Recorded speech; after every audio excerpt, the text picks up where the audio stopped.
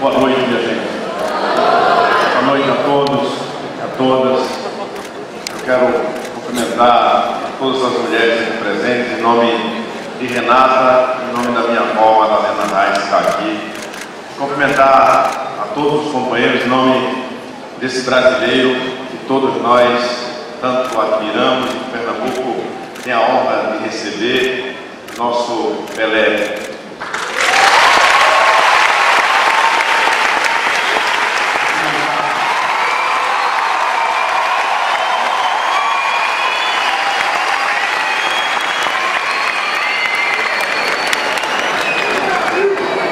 dizer, dizer em rápidas palavras da emoção que é ver o CinePE fazer 15 anos, chegar à adolescência tão maduro, tão forte, tão bonito, e a caminhada do CinePE coincide com a caminhada bonita do cinema pernambucano, de uma geração de cineastas, que são da minha geração, que eu vi aqui no CinePE acontecer e aparecer para o Brasil e para o mundo.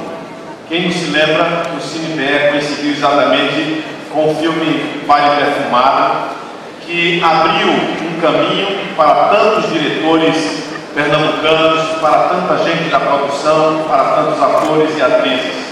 Portanto, eu queria cumprimentar Berguini e Sandra, que deixaram a carreira que eu também abracei de economista, eu vi que esse negócio de economista não tem muito futuro, viu?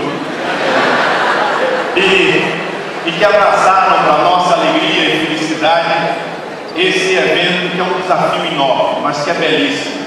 Nós estamos muito felizes que nós queremos ver hoje não é discurso, é cinema. Parabéns, um grande.